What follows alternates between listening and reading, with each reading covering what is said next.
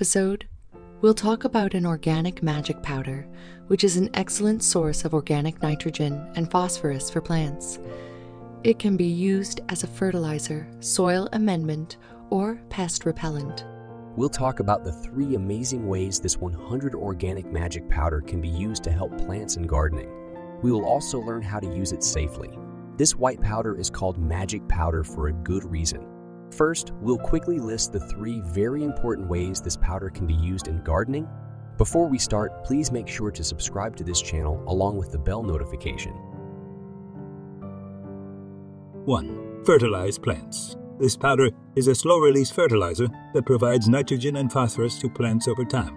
It can be applied to the soil around plants or mixed into the potting mix. 2. Amend the soil.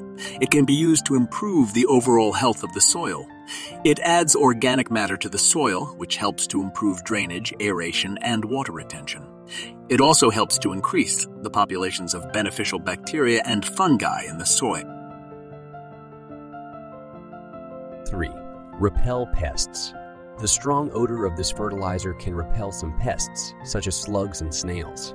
It can also be used to attract beneficial insects, such as ladybugs and lacewings. The miraculous magic fertilizer is fish meal.